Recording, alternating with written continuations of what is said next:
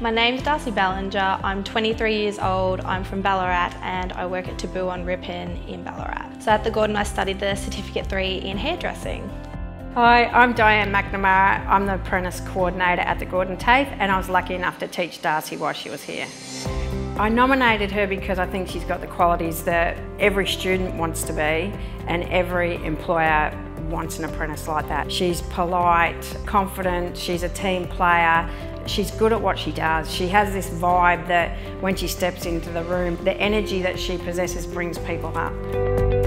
Hairdressing is one of those things you can never stop learning. There's constant artistry and basic technique that you have to apply and that's what I really enjoy, that it's everything's different. Uh, I see for Darcey a, a, great, bold future. She has such passion, she's vibrant, she's amazing. I want to watch her space because it's going to be exciting. For future career, I would love to increase my knowledge and broaden it more in certain areas like cutting or colouring, do more classes, um, maybe one day even go about down the path of teaching.